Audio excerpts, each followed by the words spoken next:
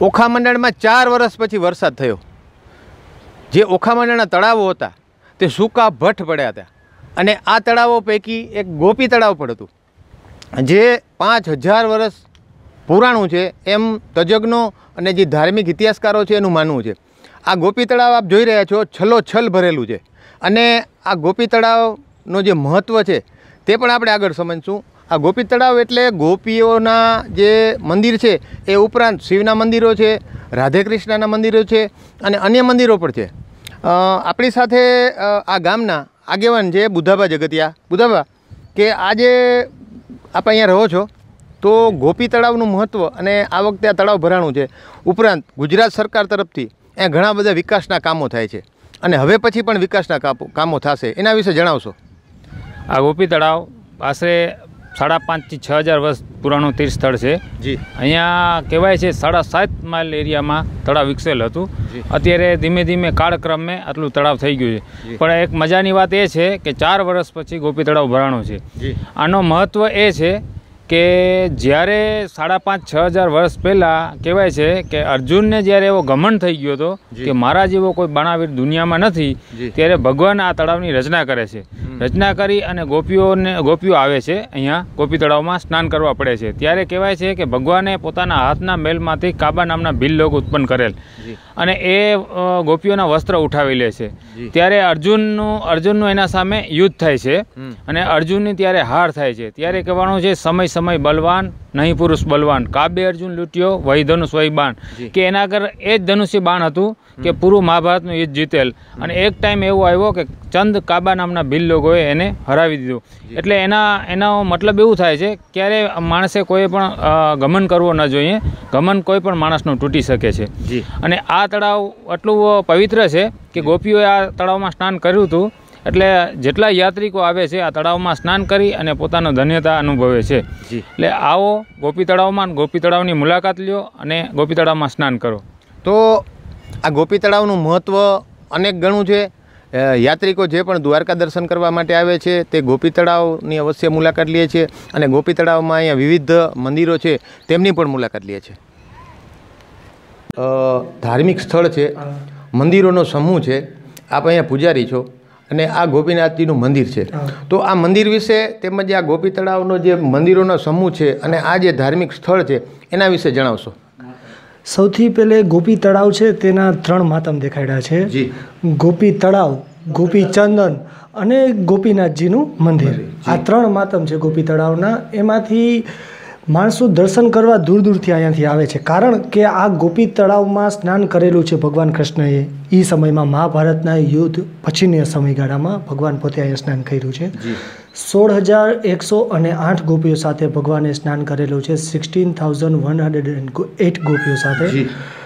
એ સમયમાં ભગવાને ઈચ્છા થઈ હતી કે મારે સ્નાન કરવું છે તો હું કઈ જગ્યાએ તો આ સુંદર સરોવર તળાવનું નિર્માણ કરેલું ભગવાને. અને સોળ હજાર એકસો આઠ ગોપીઓ સાથે સ્નાન કરેલું રાસલીલા જલક્રિયા ઇત્યાદિ આ તળાવની અંદર. જી. તો એ સમયમાં ગોપીઓએ સ્નાન કરાવ્યું ભગવાનને શરીરમાં મળી મળીને સ્નાન. કરાવ્યું એટલે ભગવાનના શરીર ઉપર બ્રહ્માજીનો લેપ લાગેલો હતો. તો એ બ્રહ્માજીનો લેપ લાગેલો હોવાથી જ્યારે સ્નાન કરાવ્યું તો એ બધું ચંદન કેમાં ગયું. તળાવમાં. ગયું. તો પછી ગોપીઓએ જાતિ સમયે કીધું કે ભગવાન આપણે અહીંયા આવ્યા છીએ દર્શન કર્યા રાસલીલા જલક્રિયા પણ હવે આપણે વયા જશું. પછી પ્રૂફ શું રહેશે અહીંયા? કે આપણે આવ્યા હતા દર્શન કર્યા એ બધું? ત્યારે ભગવાન કૃષ્ણએ કીધું હતું કે ગોપીચંદન પાપગ્નમ વિષ્ણુ દેહ સમદ્ભવ ચક્રાંકિત નમસ્તુભ્યમ. તીર્થન દે દિવાકર કે ભગવાને કીધું કૃષ્ણએ કે જ્યાં સુધી આ ગોપી તળાવની ભૂમિ રહેશે ત્યાં સુધી પ્રૂફ રહેશે. શું?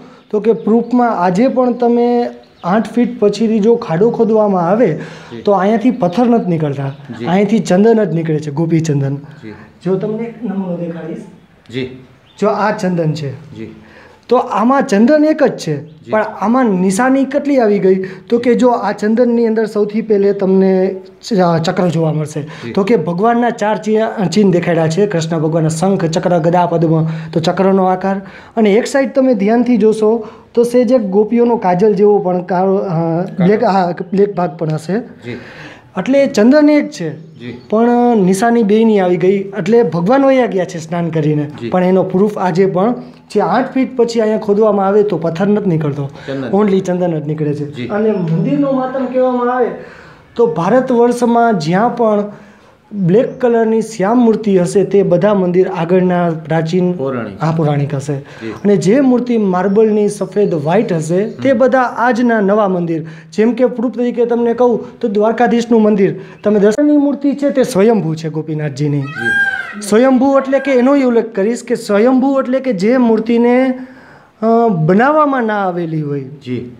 જેનું કોઈ આગળ આપણે બનાવેલી ના હોય જે જમીનમાંથી પ્રગટ થઈ હોય તેને સ્વયંભૂ કહેવામાં આવે છે. આ મૂર્તિ છે તે તળાવમાંથી પ્રગટ થઈ હતી અને પછી અહીંયા મંદિર બનાવેલું છે.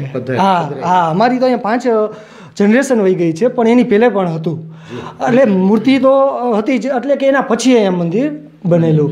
એટલે જ્યાં પણ શ્યામ કલરની મૂર્તિ હશે તે મંદિર maximum one thousand year up હશે. જી.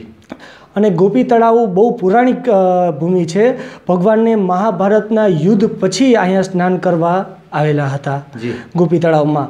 ગોપી તળાવને જેટલા મેં તમને આ બધી માતમ કીધા છે જેમ કે મેં તમને જણાવ્યું ગોપીચંદન વિશે ગોપીઓએ સ્નાન કર્યું સોળ હજાર એકસો આઠ આ બધા શબ્દો મારા નથી.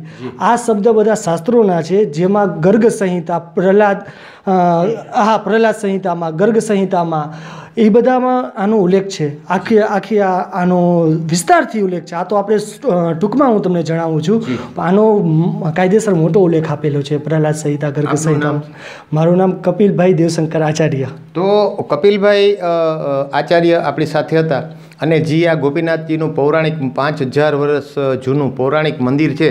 તેમના વિશે વિસ્તારથી આપણે જણાવેલ કે આ મંદિરનું મહત્ત્વ શું છે ગોપી તળાવનું મહત્ત્વ શું છે ગોપી ચંદનનું મહત્ત્વ શું છે.